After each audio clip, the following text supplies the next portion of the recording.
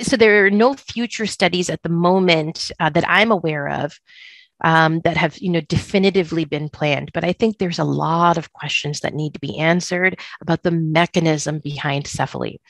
Um, are we how are we modulating pain the pain of migraine with the CEFALY device very specifically do we affect uh, the inflammatory cascade with the device?